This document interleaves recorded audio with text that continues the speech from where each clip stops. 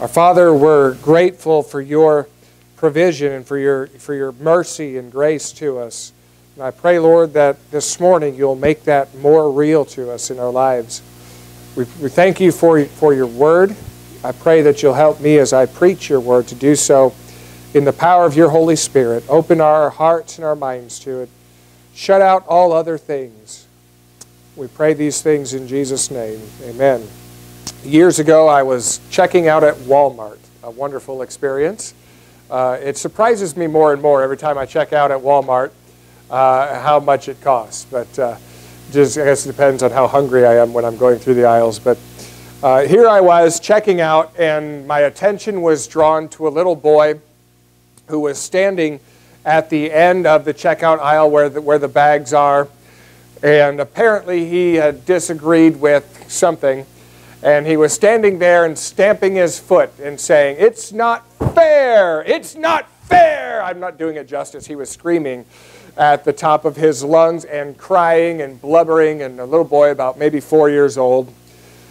I did not have any children at the time, and so uh, I knew immediately that when I had children, they would never misbehave in public. I knew that as a pre parent, I knew that that was going to be the case. Apparently, this young man was so upset because his mother didn't purchase something for him that he believed he deserved to have or should have been given. Um, so he let everybody within earshot know that he had gotten a raw deal. And he wanted everybody to know that his mom was not fair. Now, we would not stand in public and scream, It's not fair. I don't think so, anyway. Uh, would we? Probably not. Okay? We're more concerned than a four year old is about what everybody else thinks of us. And so we, we kind of carefully guard that reputation. But even if we wouldn't scream it out loud, do we ever whisper it in our hearts? It's not fair. There are plenty of instances in life that you might be tempted to think and to believe that it's not fair. And what's not fair? Well, you go to church and, and you try to live for the Lord. You're not perfect, but uh, you, you do your best to live for the Lord. Uh, you ask Him for forgiveness when you fall short. And there are other people who live their lives, and you know them, and they live their lives with no regard for God or anybody else, and they, they have a bigger house, better health report, and, uh, and seem to have more respect than you do. It's not fair. Maybe you carry a huge burden that others do not carry. It could be a financial burden. It could be a physical burden. It could be a family problem or some personal failure. Hey, every few years there's a class reunion. You know, most people's high schools do that. And you go back to high school, and there's that kid that didn't study, that flunked everything, was a goof off, and now he's rich. There's one in every class, and it's not me. I just did half of that bargain. But uh, anyway, there's, there seems to be one in every class that you, he was probably voted most likely to fail, and he succeeded big time. It's not fair. There's something that you want or something you've always wanted to have. It isn't something sinful, and most other people have it, but, but you lack it. It's not fair, you whisper in your heart. And as your heart whispers, it's not fair, what you're really saying is, God's not fair. You're saying, God, if you were fair, then this need that I have would be met, or this pain that I feel would be dulled, or something to that nature, but you're saying God is not fair. Do we serve a fair God? Does He treat you right? Does he do right by you and your loved ones? Is he fair? These types of questions were uh, most likely on the hearts of the disciples when Peter said to Jesus, We've forsaken all, everything, and followed you. What do we have, therefore?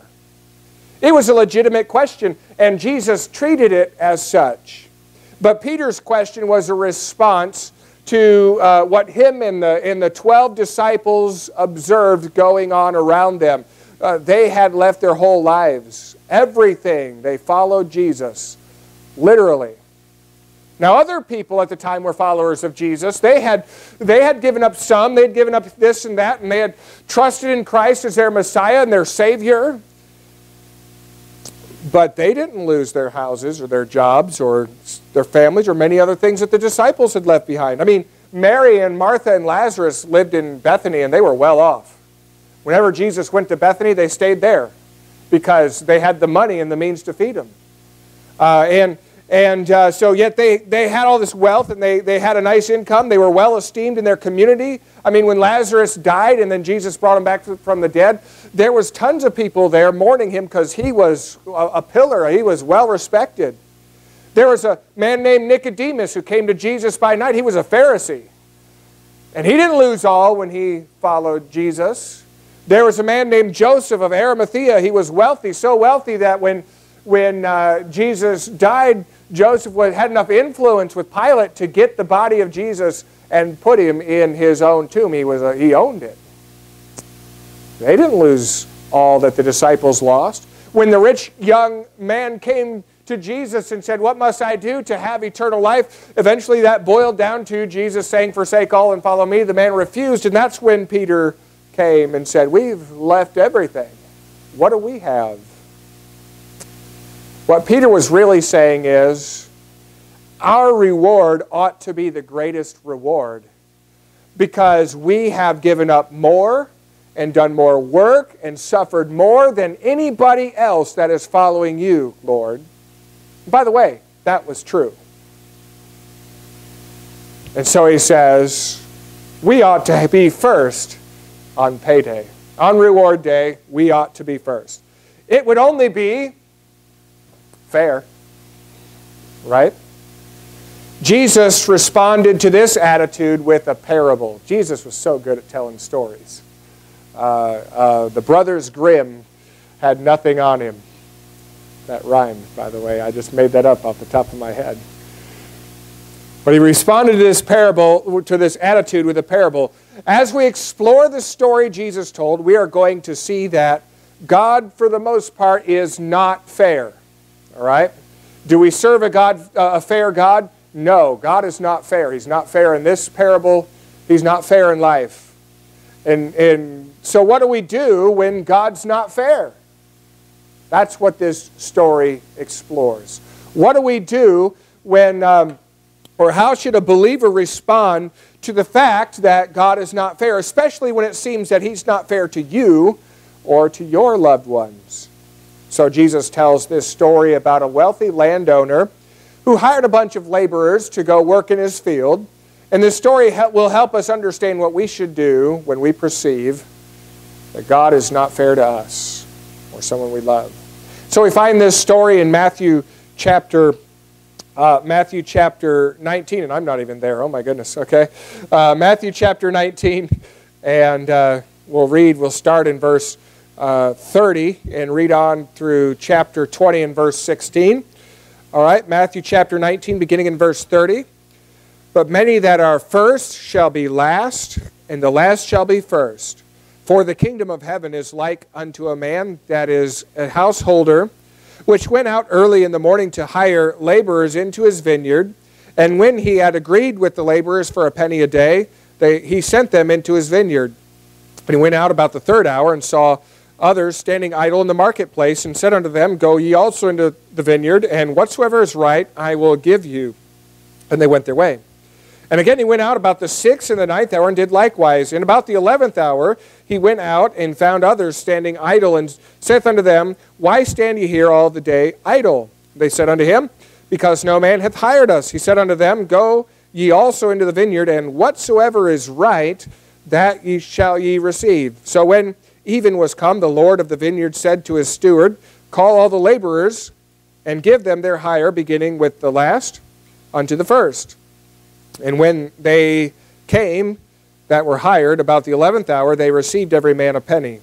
But when the first came, they supposed that they should have received more, and they likewise received every man a penny. And when they had received it, they murmured against the goodman of the house, saying, These last have wrought but one hour, and thou hast made them equal unto us, which have borne the burden and heat of the day. But he answered one of them and said, Friend, I do thee no wrong. Didst not thou agree with me for a penny? Take that thine is, and go thy way. I will give unto this last even as unto thee. Is it not lawful for me to do what I will with mine own? Is thine eye evil because I am good? So the last shall be first, and the first last, for many are called, but few are chosen. What must we do? What should be our reaction when God is not fair? When God is not fair, we must trust that He is right. Because to be fair and to be right are not the same thing. But we can know, if we know anything about God, it is that He is right. And sometimes in our experience, it seems that God is wrong because we look and we see that He's not fair. And in, in our American mindset, the only thing that's right is what is fair. But God is not always fair, but we know He's always right. So when He's not fair, we should trust that He's right. Jesus told a story. It's pretty easy to see that the wealthy landowner here in his story is not fair. I mean, that's what he's charged with, and that's true. He's not fair. The landowner goes to the market about 6 o'clock in the morning um, and hires laborers to work in his field. This was common. Many workers in, in that time, even today, are, are unskilled labor. And they would go to the marketplace and wait to be hired for the day. They didn't have a, a steady every uh, you know, monthly or weekly job or a yearly job. They just went down to the market. Hopefully, someone would hire them.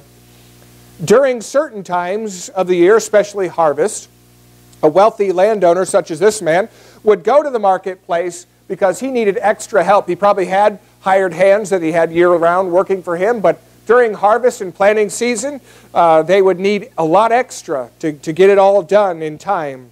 And so he goes early in the morning, 6 o'clock in the morning, and the landowner and, and, and some workers that were already there in the marketplace, they reached an agreement. These men would work all day for a penny or for a denarius. Apparently, there was much to do because on the third hour, three hours later, that would be 9 o'clock in the morning, the landowner went back to the marketplace and hired some more men.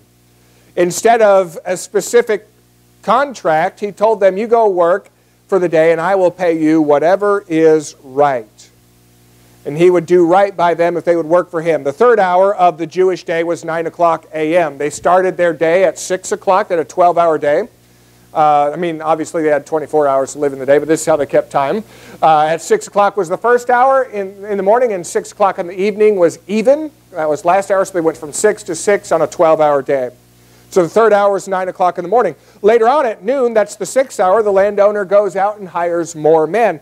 Then again at 3 o'clock p.m., the ninth hour, he goes out and still hires more men using the same uh, method to a, of agreement. Whatever's right, I will pay you. Finally, at 5 o'clock p.m., the 11th hour, uh, an hour before quitting time, uh, he goes out and he hires more workers in the marketplace, and we get a little bit more detail about his conversation with these last men.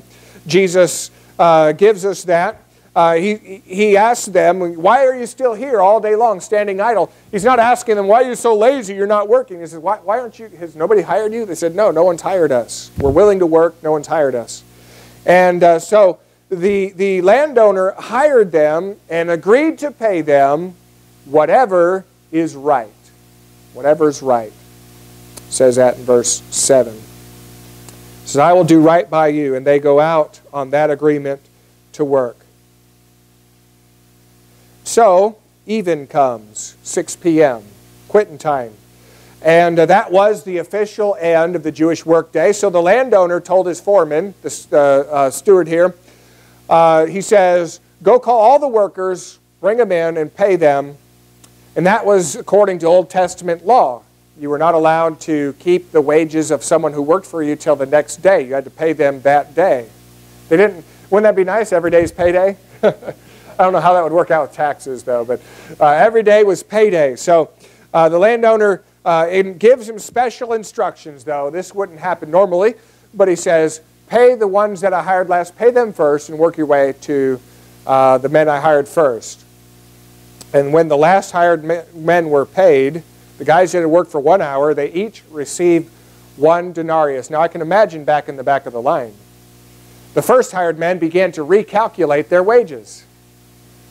If these guys only worked one hour and they get one denarius, one penny, and what are we going to do? What are we going to get for a 12 hour shift? So they recalibrated their expectations accordingly. And they supposed that they were worth much more than one denarius now. But then they get to the front of the line and they're paid only one. No more than the rest of the men who worked less or even one hour. At this point, they begin to complain. Now, be honest. Wouldn't you? They gathered together and appointed a spokesman to bring their complaint to the landowner. They, um, in, in verse 13, it says, but he answered one of them. So this, this landowner is having a conversation with one man. They maybe formed a quick union or something like that, and this is the steward, the union steward, I don't know. But uh, they sent one man to the landowner to bring their complaint. And what's their complaint? We worked 12 hours and they only worked one hour. You paid them the same as us. It's not fair. You've not been fair to us, sir. But then the landowner defends himself. If we look uh, at verse 13, but he answered one of them and said, Friend, I do thee no wrong. Didst not, didst not thou agree with me for a penny? He says, I've, I've, I've not done wrong by you. I fulfilled your contract. We agreed. You're going to work one day for one penny or one denarius. A penny sounds pretty, pretty bad uh, in, in our. Uh, who, how many of you would work all day for a penny? Not, not me. Uh, but a denarius was a lot of money. Um, he says, I've not you done you wrong. I've fulfilled your contract. He says, I've not done wrong by you in fulfilling your contract. After I did that, uh, I can do whatever I want with my own money. It's not your money, it's my money. And, and I, it's none of your business. I can do what I want with my money after I pay you. I've, I've, not done you wrong. He says, I've not done you wrong by being generous to other people. Verse 15, he says, Is thine eye evil because I am good? Uh, good meaning good and generous to other people. And so it says, I've not done you anything wrong. You know what? The landowner was not fair, but he was right. He paid those first hired men exactly what he said he would pay them. He did not cheat them. They were perfectly content to work one day for one denarius. By the way, one denarius was the pay of a Roman soldier, and it was good pay. It was much more than any unskilled laborer could, be, could, could expect to make for a day's labor, much more. And so when the landowner at 6 o'clock in the morning offered them that, they were, they were amazed. And so he had the right to do whatever he wanted with his money. He was right, but he was not fair, was he? In that way, in, in what way was he uh, not fair in paying his laborers? Was it unfair for him to pay men who worked one hour a whole denarius while paying men who worked 12 hours the same? Is that unfair? That's what they supposed. But who's really getting ripped off here? the landowner. He's, he's taking a bath here. He is, he is getting ripped off. The pay scale was not really uh, something that was advantageous towards him. And the pay scale was not where he was unfair. Uh, he got the raw deal because um, hiring these guys for a denarius a day would be like hiring a teenager to rake your lawn and then paying him 500 bucks. All right? Uh, I mean, it's just, they're not worth that much money, all right, that, to, to this unskilled labor. And so at 6 o'clock in the morning, By the dawn's early light, they make this agree. This guy says, I'll give you a denarius a day. And these workers look at each other and they can't believe it. They look at each other and say, What's the catch? Where's this guy been all our lives, right? And so they're excited. I mean, they, they're, they're going off to work singing, Hi ho, hi ho, it's off to work we go. You know, they're, they're whistling while they work. And, uh, and, and uh, they, they can't believe their good fortune. They worked happily all day long knowing that they were going to get one denarius. They were thrilled Nobody had ever paid him like that before. If the landowner was fair, he would have never agreed with them for that payment in the first place. But he was not fair. He was right. They knew all day long what they were going to get. But then they started looking around at the other workers. They all got paid the same. And when they saw it, their contentment and their thrill and their joy vanished. Why? Because they supposed something. If you look in verse 10, what did they suppose? They supposed they would get more. Why did they suppose they would get more? They supposed that because they supposed they were worth more. Even though they received far they, they would receive far more than they deserved, they complained. Now this parable is not a good pattern for business now. Don't go out if you own if you ever own a business, don't go out and hire a bunch of people and pay the guys who work one hour the same as the guys who work 12 hours. It's probably not a good idea, but that's okay because this is not intended to be a business model. If you go back to verse 1, it says, For the kingdom of heaven is like this. All right? And so in the kingdom of heaven, many who thought they would be first would be last, and many who thought they were last will be first. That's the point of the whole parable. The workers who complained thought that they were worth more. In other words, first, they thought they were worth more than the other workers, not realizing that they weren't even worth what they were getting. I mean, if they were such good workers, why did he have to keep going out and, hiring more? I mean, if they were so awesome, he shouldn't have to go out and hire all the, that other crew. They should have got the job done. Peter and the other apostles thought themselves to be worthy of their reward. I mean, they really did bear the heat of the day. But even though they gave up everything to follow Christ, they did not earn heaven by what they lost. Whatever you lose to follow Christ is earning nothing, it's just a consequence. What Christ gave them, he gave them by grace, not by deserved merit. So when God is not fair, what should we do? Well, obviously, we should trust that He is right. We must rejoice in the fact that God is right and not fair. In what ways should we rejoice? How do we rejoice in God not being fair? Well, first of all, rejoice when God does right by you. Rejoice when, when God does something right for somebody, He does right by you. Um, here in, in uh, verse 2, when he had agreed with the laborers for a penny a day, he sent them to his vineyard. He was doing a lot right by them. And then in verse 10, when they first came, they supposed they should have received more. They received likewise every man a penny. We go to verse 14. He says to them, Take that thine is, and go thy way. In verse 13, he says, I do thee no wrong. What they didn't realize is he had done them a lot of right. And he had taken a huge loss to hire them at that price.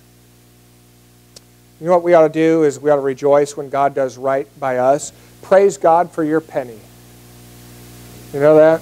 Praise God for your penny. Remember how thrilled you were when God saved you? You remember that when, when you realized you were a sinner and by faith and through grace you, you came uh, to, to Christ. The Holy Spirit was working on your heart and you, you, the thrill of escaping the damnation of hell was just, that was enough at the time. The joy of knowing that heaven would forever be your home, that you could pillow your head every night for the rest of your life, knowing that if you didn't wake up, it was okay. The wonder that the God who created this universe with all of its vast wonder and, and gigantic, enormous expanse would love one small speck on that universe, and that speck is you. The beauty of the fact that God hears the prayers coming from that little speck. Remember the joy and the thrill when you were first saved? I mean, it was just, it, that was enough. God did right by you, didn't He? Was He fair when He did that? No. Don't pine away for what is fair when we deserve death in hell for sinning against a holy and righteous God. He sent His Son, Jesus Christ, to die in our place that was not fair. But God commendeth His love toward us in that while we were yet sinners, Christ died for us. And I tell you this when I got saved, I didn't stop deserving death and hell. I still deserve it now, but because God is not fair and God has done right by me, I am a child of God. but as many as received him, to them gave he power to become the sons of God. Even to who? Even to those who believe on his name. God has done right by us. Let's rejoice in that instead of, instead of uh, complaining about what is seemingly not fair. In this old, fallen, and sinful world, we encounter many difficulties, many trials, much pain, don't we? We do. We bear the heat and the burden of the day. We experience pain and sorrow and regret and depression and disappointment. Other people do us wrong and they get away with it sometimes. Circumstances may seem upside down, but God has done right by you and God has done right by me. And I want to rejoice and never lose the joy of my salvation because it wasn't fair. You can rejoice if you trust God to be right when He's not fair. Rejoice when God does right by you. What else should we rejoice in? Rejoice when God does right by others. Many people, when God blesses somebody else, they get mad. That should never be the attitude of a Christian. If you take the person that you dislike most in the world, and if God blesses them, you should rejoice. Rejoice when God does right by others. Don't ever look at someone else and wish they had less blessings, even if that person despises you.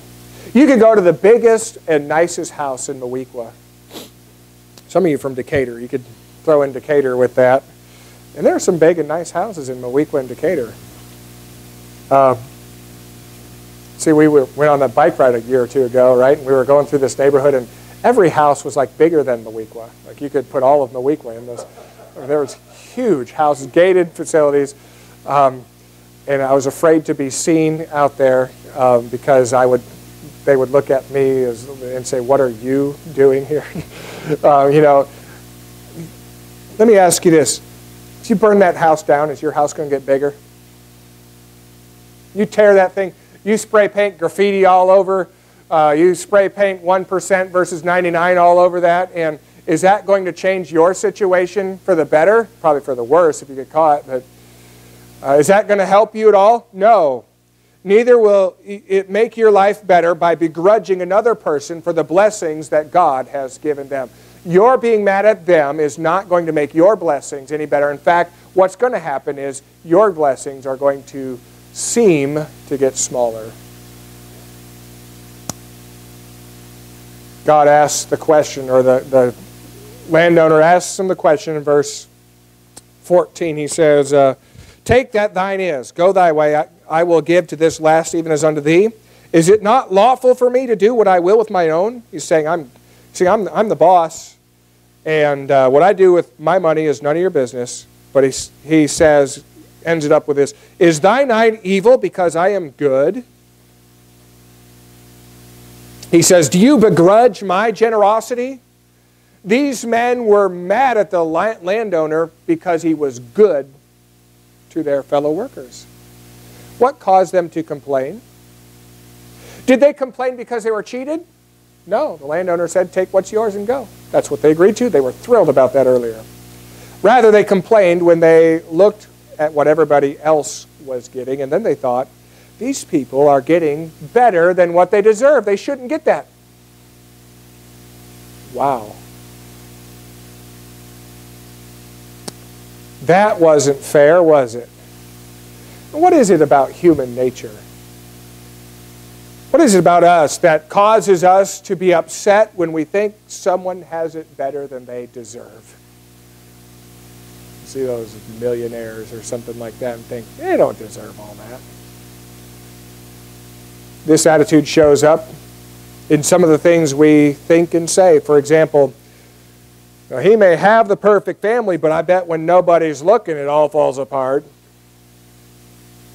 Oh, she looks 10 years younger than her age, but pretty soon it's all going to fall apart for her. You just wait. He may have got the promotion, but I'll bet the boss is going to regret that. It's all downhill from here for them. That's human nature. To look for a chink in the armor, to speculate about the possibility that the other person may not have it so good or to complain when such a possibility doesn't seem possible. Why? Because we're comparing them to us. And let's face it, we're not objective. That's what the comparing workers were doing. They couldn't see how good they had it. Well, they were so mad about how good everybody else had it. The 12 apostles lost sight of how good they had it too. They, they got together, they appointed a spokesman, Peter, to speak to the Lord about it. Isn't it interesting that the complaining workers got together in Jesus' story? This is a fictional story. Uh, and and uh, appointed one spokesman to tell the landowner that he wasn't fair. Doesn't that sound a whole lot about a, like a, a group of 12 guys that Jesus was just dealing with who got together and appointed Peter as their spokesman? It was Jesus was subtle but he was clear too. So I'm speaking to you guys. And so we ought to rejoice and be happy for others that they are experiencing God's blessing, even if it seems like their blessing is 12 times more than ours. But it's not too hard. Uh, um, it's not too hard to, to rejoice when someone you love is experiencing God's blessing. Usually that's not bad, not hard. But what about if it's someone you don't like so much? Someone who told you off yesterday. Rejoice. God is good. God is right. But God is not fair. When God is not fair, trust Him. Trust that He's always right. Have you been tempted to complain about things in your life? Maybe you've been faced with some really big disappointment, something you really wanted and it crashed, it didn't come through. It didn't happen the way you maybe you prayed about it, you you you sought counsel, you sought help on it. Maybe maybe it was something you were working towards, you worked so hard and it just didn't work out. It, it didn't happen. And your heart whispers, You carry a huge burden that others don't seem to bear a physical, a financial, a spiritual, a, a family problem, a personal failure, something you can't do anything about, and your heart whispers, It's not fair. There's something you want, maybe something you've always wanted and you can't have, and it's something a lot of people have, maybe not even a bad thing, and your heart whispers, It's not fair. Don't stand at the end of the checkout line of life stamping your foot, screaming at the top of your lungs.